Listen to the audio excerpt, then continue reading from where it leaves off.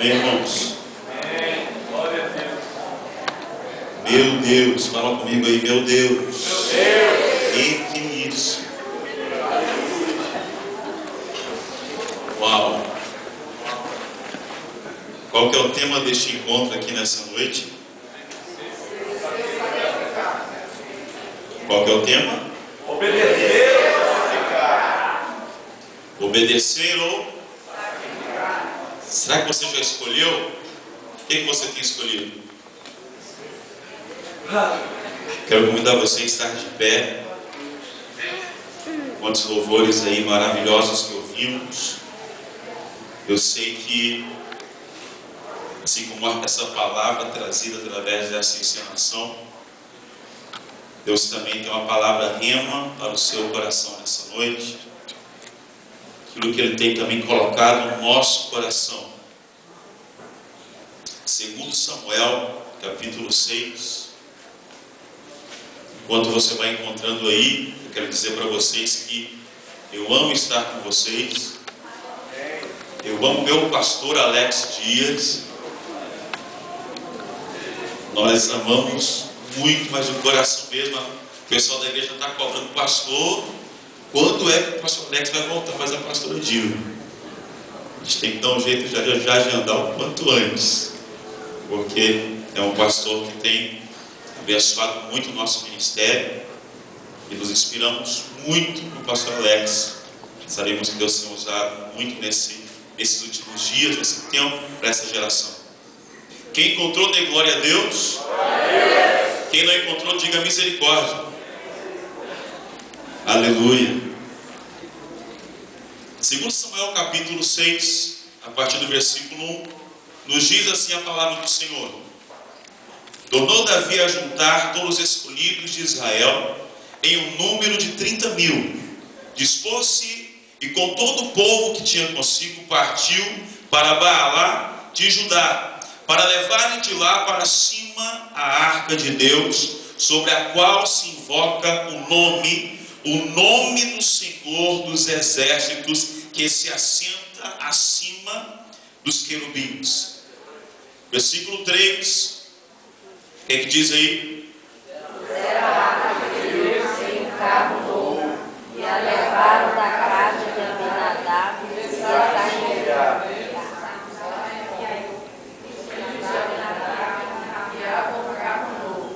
Levaram-no com a arca de Deus da casa de Abinadab, que estava no outeiro, e Aiô ia diante da arca. Davi e toda a casa de Israel alegrava-se perante o Senhor com toda sorte de instrumentos de pau de faia, com harpas, com saltérios, com tamboris, com pandeiros e com. Versículo 6, vocês. Chegando-se a ira de Nacon, descendeu Deus a mão a arca de Deus, e teve a mão dela. Eu gosto muito da tradução porque os bois tropeçaram.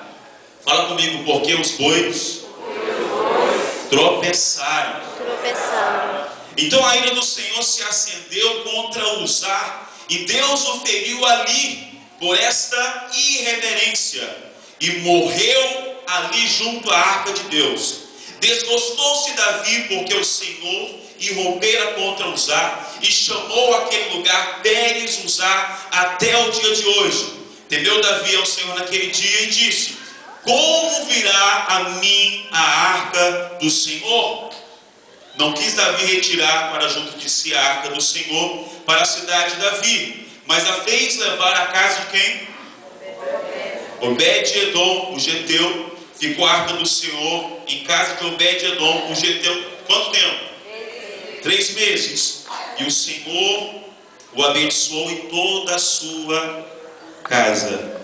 No versículo 12 ainda diz assim: Então avisaram a Davi, dizendo: O Senhor abençoou a casa de Obed-Edom e tudo quanto tem por amor à arca de Deus.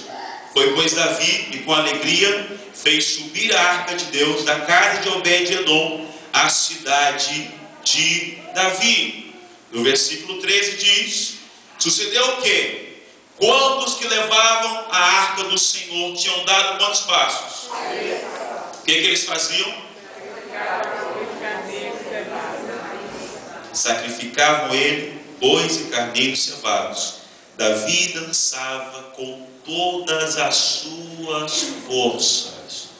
Eu quero que você preste muita atenção nisso aqui, ó. Davi dançava com todas as suas forças. Continuam vocês?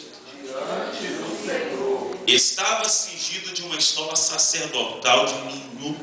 Assim Davi, com todo Israel, fez subir a arca do Senhor com júbilo e ao som de trombetas. Podemos assentar glorificando ao Senhor? Eu quero chamar a sua atenção a esse título aqui: Obedecer ou sacrificar. O meu tema está bem de acordo com este também. É este: levitas ou bois? Quem somos nós? Fala comigo, levitas, Levitas ou bois? ou bois. Quem Quem? Somos nós? Eu quero que você dê um cutucão santo na pessoa que está perto de você e já comece a perguntar para essa pessoa aí: você é levita ou você é boi?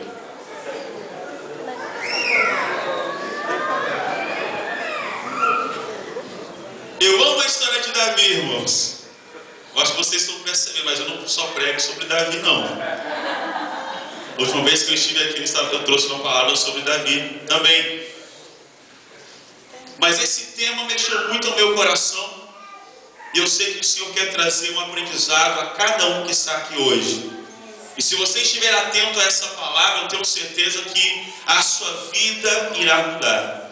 E você irá começar a colher muitos frutos a partir dessa noite. Se você estiver atento à voz do Senhor aqui neste lugar. Nós iremos aprender hoje, através deste tema levitas ou bois, quem somos nós. Nós iremos aprender a dimensão que é servir ao Senhor e tudo que implica este serviço a Ele. Aleluia!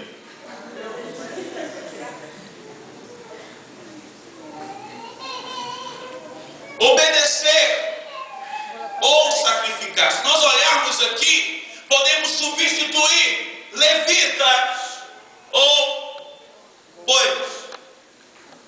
Meu Deus. Talvez você possa até pensar, o pastor vai escolher uma dessas aí, uma dessas alternativas, obedecer ou sacrificar. Vamos ver o que vai acontecer então. Davi estava num momento crucial da sua vida. Ele já havia sido ungido rei de Israel, reconhecido já como rei de Israel. Só que Davi tomou a maior e melhor decisão que Davi poderia tomar. Ele não poderia reinar sobre Jerusalém e as outras cidades se a arca do Senhor não estivesse ali naquela cidade. Davi reconheceu uma coisa: para eu obter sucesso na minha vida, para eu ter vitória na minha vida, eu preciso trazer a presença do Senhor comigo. Não interessa o que eu já aprendi ou não. De. Se eu quero um, um, uma liderança de vitória, se eu quero servir ao Senhor e fazer a diferença, eu preciso trazer a presença do Senhor comigo. Davi tomou a decisão certa. Eu preciso trazer a arca do Senhor de volta a Jerusalém. Porque a arca do Senhor representava a vitória do povo de Israel. Dá um cutucão santo na pessoa que está perto de você aí. E fala para essa pessoa abençoada: é a presença de Deus na sua vida que irá determinar as suas vitórias e conquistas. Se você está com a presença do Senhor, se a presença do Senhor está em você, eu tenho certeza de uma coisa: você pode chegar até mim e falar, pastor, eu tenho esse problema, eu acredito Senhor vai te dar vitória em tudo isso. Porque a presença do Senhor está na sua vida. E Davi sabia disso. Tem muitas pessoas que quando recebem uma posição de honra já começam a guardar os aplausos já começa a guardar o reconhecimento, a glória do homem, mas Davi não. No momento que ele poderia estar esperando aplauso, mais do que isso, ele sabia que a presença de Deus era na vida dele. Ele decide então trazer a arca do Senhor para Jerusalém. E foi uma preparação muito linda. Aquela preparação durou tempo, durou trabalho. Imagino que no dia anterior, até mesmo na noite anterior, deles saírem em busca da arca, Davi nem conseguiu dormir direito, porque era o grande momento de Jerusalém, era o grande momento da vida, da história de Davi. Ele andava para um lado e para o outro, está chegando a hora. Daqui a pouco, daqui a pouco nós iremos resgatar a arca do nosso Deus, iremos trazer a arca de volta para Jerusalém. Davi escolheu os melhores bois. Vira para quem está perto de você e fala isso. Davi escolheu os melhores bois.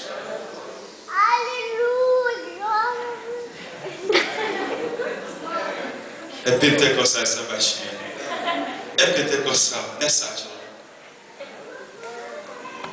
Davi escolheu os melhores bois. Davi escolheu um carro novo para trazer a arca para Jerusalém. Davi sabia que a arca do Senhor não podia ser colocada em qualquer lugar, porque era mais do que especial. Era a parte fundamental do seu reinado.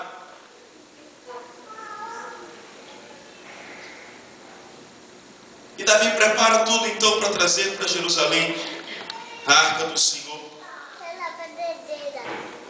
Eu acredito que Deus falou ao coração de Davi: traga para Jerusalém a arca. E Davi obedeceu, vou trazer. Só que Davi falhou. Vira para quem está perto de você e diga isso, Davi falhou. A intenção de Davi estava correta. A motivação de Davi também estava correta. Mas a preparação de Davi estava errada. Se você olhar para essas três coisas, você poderá ter êxito você, vai, você pode ter sucesso em tudo aquilo que você está batalhando para receber. Em todo o projeto da sua vida. Uma boa intenção, a melhor motivação. E agora a questão é, e a preparação? Eles colocam a arca sobre aquele carro de bois. Para aqueles bois, foi a melhor coisa que aconteceu para eles. Hum, né? Estamos carregando a arca do Senhor. Imagina até que eles começam a andar até de forma diferente. Porque toda a criação, o Deus que eu sirvo, olha, é céu, é até mesmo inferno, olha, é toda a natureza o adora, toda a natureza o exalta, toda a natureza o glorifica, sejam animais, seja homem, eu sei que até mesmo as estrelas, elas se prostram diante da soberania do nosso Deus. Eu imagino que para aqueles bois era algo muito especial, porque eles estavam carregando a arca do Senhor que representava a presença do próprio Deus. Só que algo aconteceu, eles estão lá caminhando, carregando aquela arca, Deus olha para tudo aquilo ali e fala: peraí. Tem alguma coisa errada aí, meu Deus. Aleluia.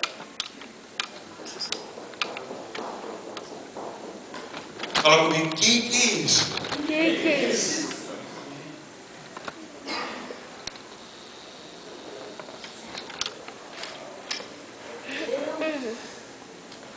Eu vou ficar aqui assim para vocês verem, né? O boi, os bois estavam, né? Acho que eu estou melhor do que eu. Um pé na frente foi o suficiente para aqueles bois caírem. Quando o Senhor falou, pera, espera aí, que história é essa? O que, que estou vendo ali? Agora quem está carregando a minha arca são bois? Onde estão os meus levitas? Onde estão os meus adoradores? Estão querendo colocar a minha presença agora em carro de bois. Qual foi o mandamento que eu dei para Moisés? A arca deveria ser carregada no ombro dos meus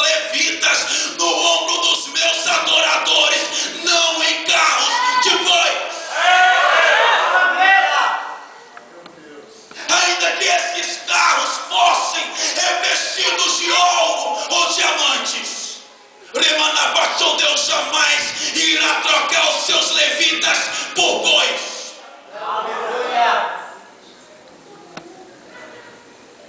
Os bois tropeçaram. É todo dia que você vê boi tropeçando aí caindo? Hã? Sabe o que, é que eu vi? Eu vi, ó, o pezinho de Jeová. Que história é essa? Onde são os levitas? Tem levita aqui nessa noite? Onde estão os levitas? Onde estão os meus adoradores? Onde estão levando cobastéria aquelas pessoas que querem carregar a minha presença em seus ombros, que querem saber o valor, o peso que a minha presença tem sobre as suas vidas? A arca do Senhor não podia chegar em Jerusalém em cima de carros e bois.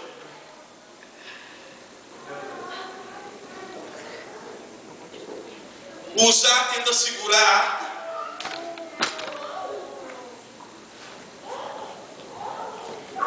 Morre, fulminado, imediatamente morre. Davi entristece o seu coração. A arca fica na casa de quem? Fala comigo, Obed Edom. Gratidão. A arca fica na casa de quem? Obed Edom. Quanto tempo? Fala comigo, três meses. Fala comigo, três meses. E Davi, completamente abatido, completamente triste, porque não pôde trazer a arca do Senhor para Jerusalém. Eu quero que você dê um cutucão santo agora, mas com vontade nessa pessoa. Diga para essa pessoa, bem nos olhos dessa pessoa maravilhosa aí, e diga assim para essa pessoa: olha aqui. A arca do Senhor, a presença do Senhor não se carrega de qualquer jeito, não se carrega de qualquer maneira. Você precisa preparar a sua vida dia após dia, manhã após manhã, todo o tempo estar com a sua vida no altar, para que você carregue a presença de Deus contigo.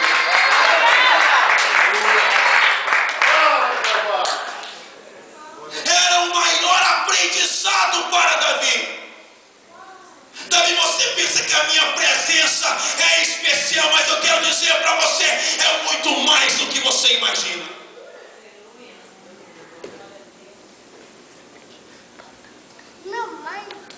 A notícia chega a Davi. Deixa eu contar para você o que está acontecendo com o Obed Edom. Posso sentar?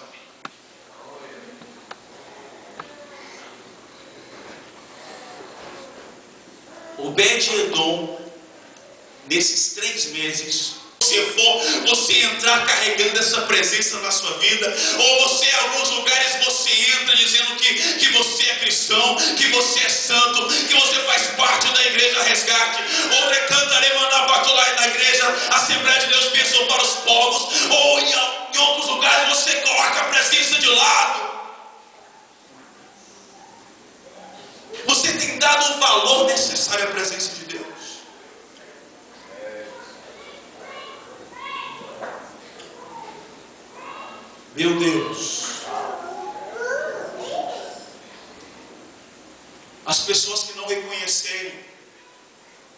presença de Deus.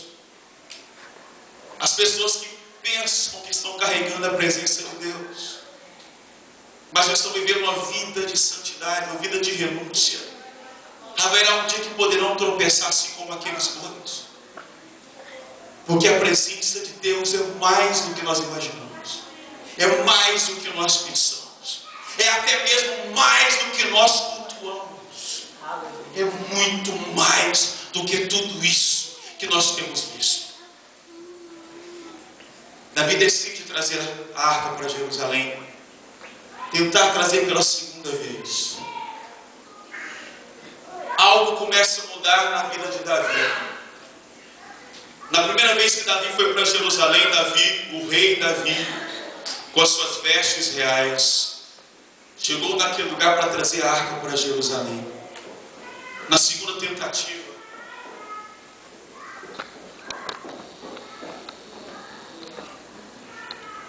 ele tirou suas vestes reais.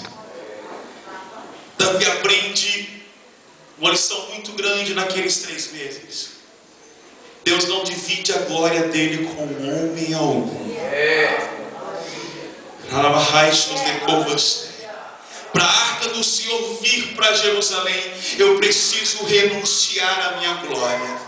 Eu preciso renunciar tudo aquilo que eu penso que eu sou, tudo aquilo que eu penso que eu tenho, toda a honra que me deram, todo o reconhecimento que me deram.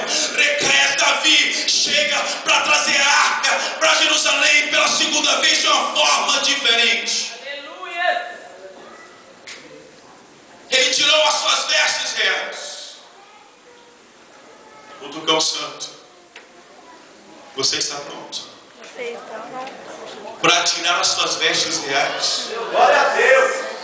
Não é você que precisa ser aplaudido, mas é você que precisa aplaudir a Ele.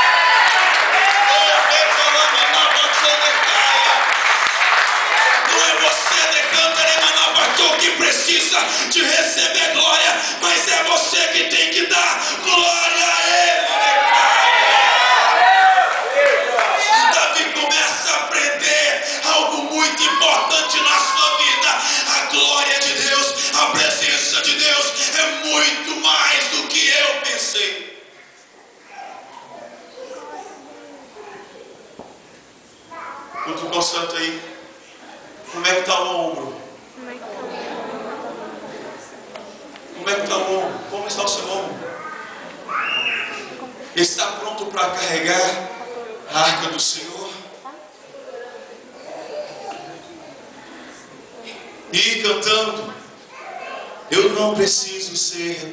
reconhecido por ninguém. Ora, mandabachai. Porque quando a presença do Senhor, quando nós estamos diante dessa glória, você não consegue nem perceber, você já chega, Senhor, ai de mim. Senhor, eu sou tão pequeno, Senhor, eu sou nada.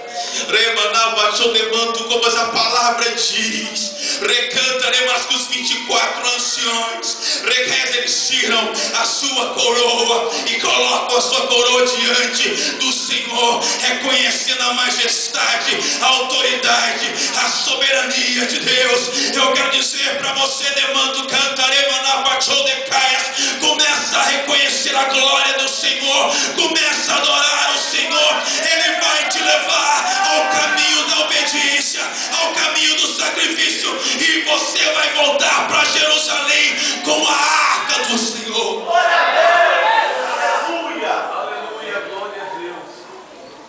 Davi ouviu no seu coração o Senhor dizendo: Eu quero a minha arca em Jerusalém. Davi obedeceu. Eu vou trazer. Agora, obediência nos leva à arca. Obediência nos dá estratégia para trazer a arca. Mas outra lição Davi aprende. Para a arca voltar para Jerusalém, terá que ser com terá que ser com terá que ser com sacrifício. A cada seis passos, no sétimo, sacrificava. Eu quero dizer para você que o seu andar tem que ser em sacrifício de adoração ao Senhor, em sacrifício de louvor a Ele todo o tempo da sua vida. Se você quer carregar essa arca com você, quer carregar a presença do Senhor com você, você tem que andar em sacrifício, apresentando a sua vida como o maior sacrifício diante de Deus, porque a palavra do Senhor diz que o coração quebrantado e contrito, o Senhor não despreza cada dia. Remanabato levanto covastéria, é você que precisa ser apresentado neste altar, no lugar de bois, no lugar de carneiros, no lugar de ovelhas, é você o sacrifício.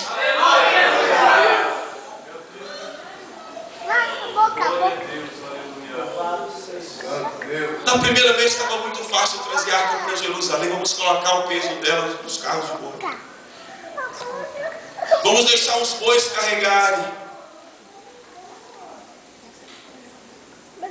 Tem muitas pessoas pensando que a casa de Deus, qualquer lugar, a arca do céu é qualquer coisa. Diga comigo, não é não. Não é não. Sabe por quê? Pergunta para mim por quê. Porque essa presença mudou a minha vida. Ora, mandava show de covas velhas. Eu sei do que eu estou falando. Às vezes nós podemos até mesmo chegar diante do altar, cantar os nossos louvores. Nós nem paramos para perceber o que nós estamos cantando. Mas para aquelas pessoas que conhecem, que sabem o que é a presença de Deus, eles já entram assim como o salmista disse: nos átrios do Senhor com louvor, com adoração e adoro, adoro o Senhor com todo o coração. Davi chega em Jerusalém, na casa do Obed-Edom.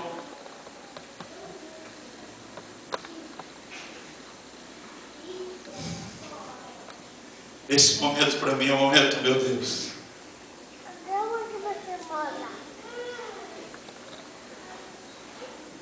Pela primeira vez, Obed-Edom avistou o rei e ficou triste. A vontade é falar: olha, fala que eu não estou em casa, mas eu não posso mentir. O que, que eu vou fazer? Por que, que eu inventei de fazer alguma coisa nesse dia? A comitiva do rei estava lá, o rei estava se aproximando, e agora? Imagina, imagina o outro lado, Obed-Edom, que em três meses teve a sua vida completamente transformada. Em três meses viu acontecer o que em toda a sua vida não havia acontecido ainda. E alguém chegar na sua casa dizendo: Eu preciso tirar de você a arca do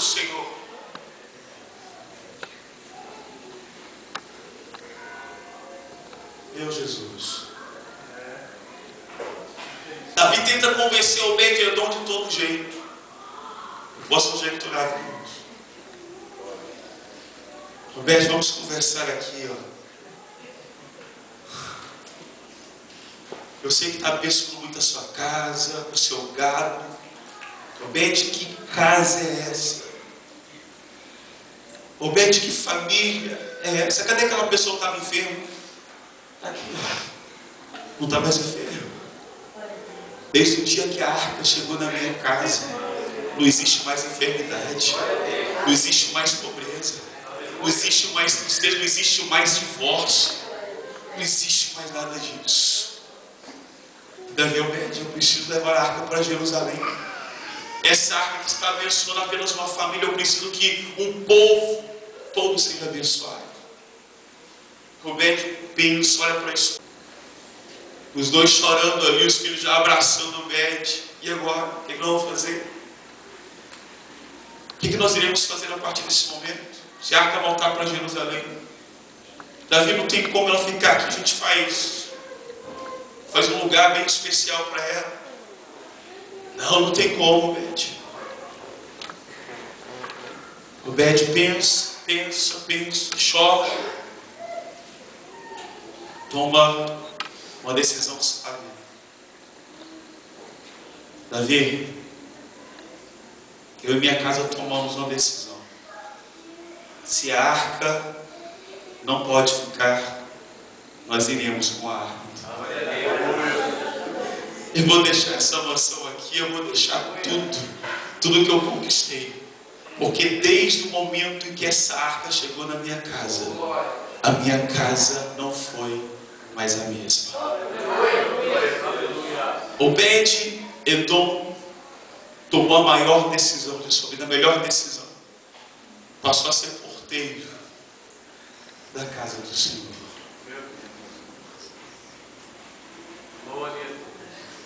Voltando ao tema, obedecer ou sacrificar. O que, é que você pensa que é a escolha do Senhor?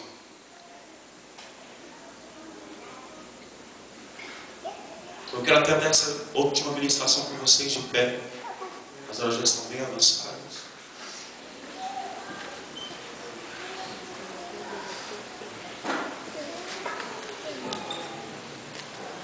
Quem foi que escolheu o tema, obedecer ou sacrificar?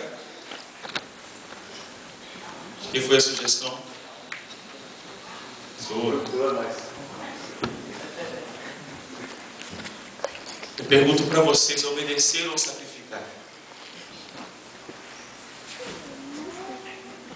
Nos últimos dias, tem muitos bois disfarçados de levitas. Mas aqui não tem, graças a Deus. Tem muitas pessoas que chegam na casa do Senhor e querem cultuar a Deus, querem adorar o Senhor, mas nem sabem que a arca do Senhor, o valor dela. Carrega de qualquer forma.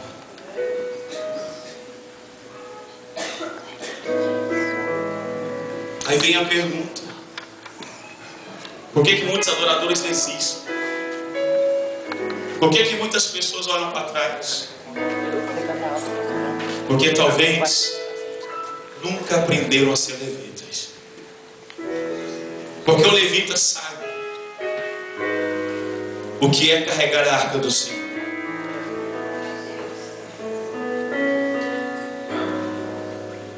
Outra coisa que o Senhor me disse nessa palavra: a arca dele não se carrega sozinho.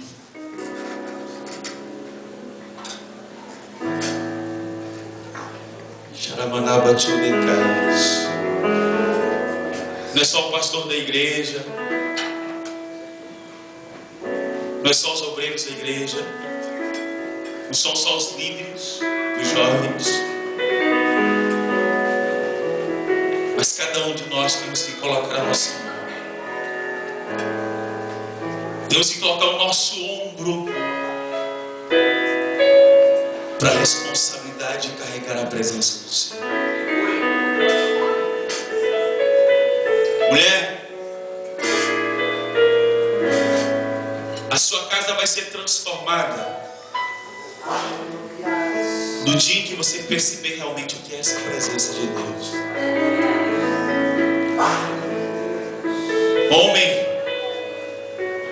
Essa enfermidade não fará mais parte da sua vida. No dia que você perceber o que é a presença de Deus.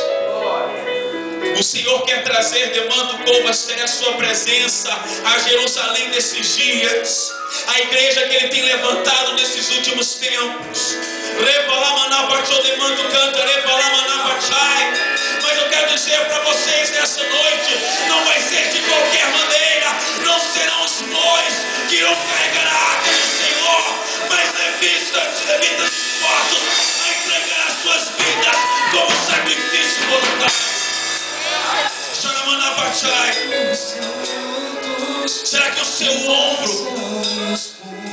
Será que o seu ombro está disponível?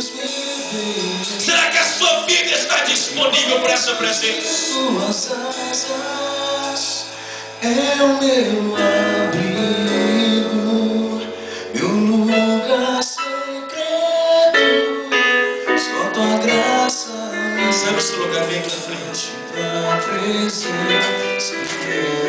Você quer carregar a presença do Senhor. Oh, Ramanabate, sabe. Você quer saber a beleza que é carregar a harpa do Senhor. Você que quer chegar nos lugares de Mando Cantaremanabachou e todos venham aplaudir essa presença. Todos venham reconhecer a autoridade dessa presença. Ramanabachou. Você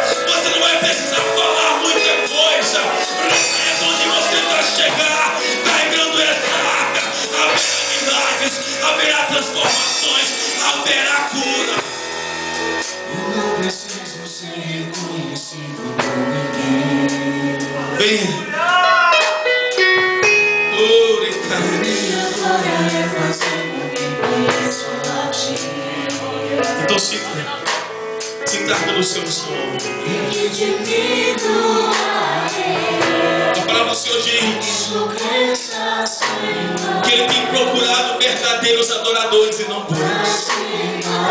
Ele tem procurado verdadeiros levitas, pessoas que estejam dispostas em carregar a arca do Senhor.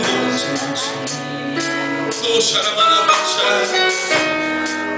Estou do nosso grande reino, tua face. É. E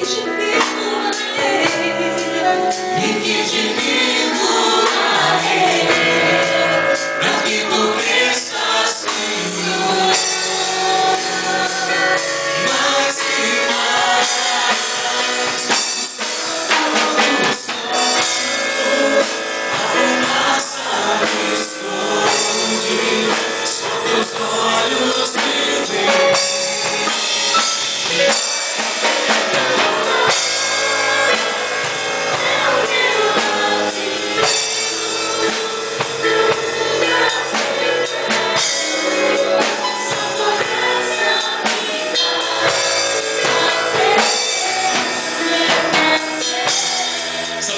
aconteceu?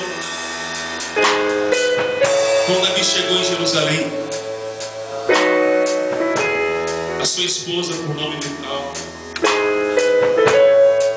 começou a olhar Davi dançando. E como a palavra diz, com toda a sua força.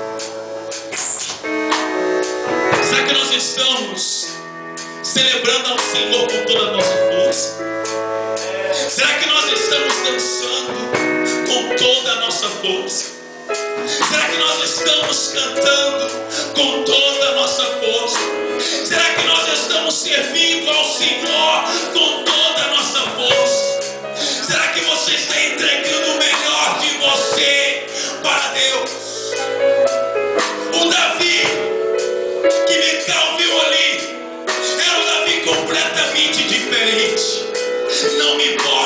importa o que vão pensar de mim. Eu sei o que é a presença do Senhor.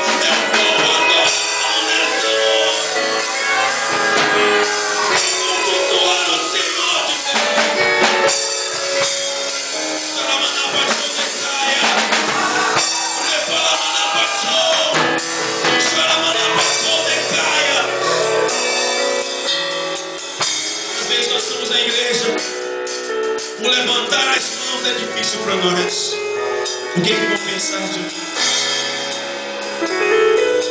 O cantar mais alto é difícil para nós, eu não tenho afinação, eu, eu sou desafinado. Vão me olhar diferente. Temos vergonha de nos levantar do nosso lugar e dizer: Deus, eu estou aqui para te adorar.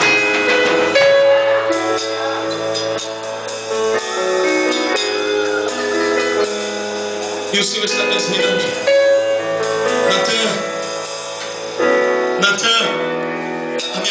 Estou procurando verdadeiros adoradores. Será que aqui tem nessa noite? Natal!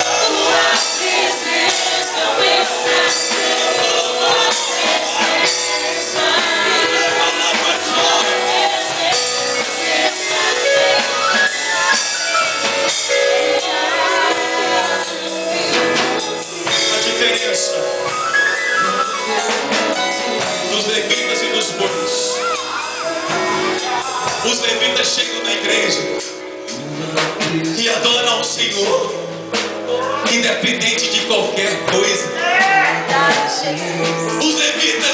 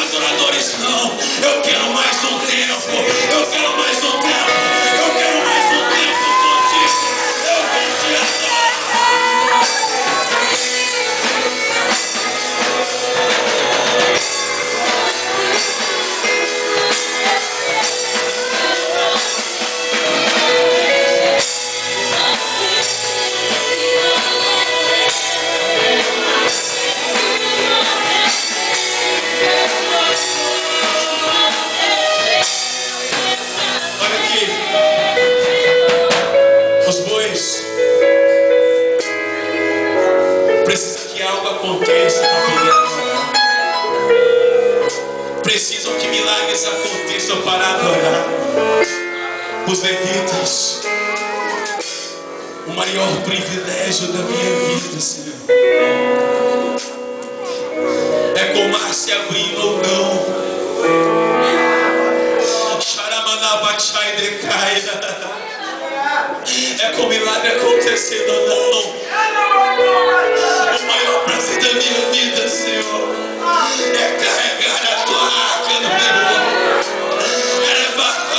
I'll never get back.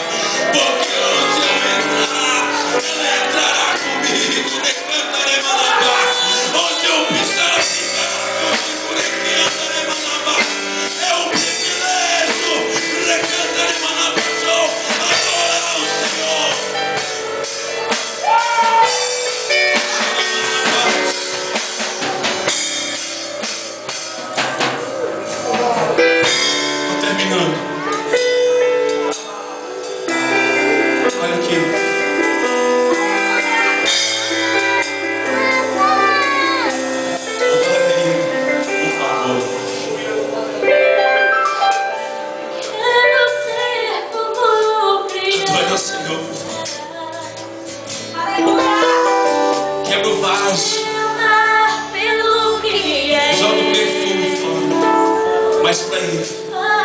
a essência desse para Ele.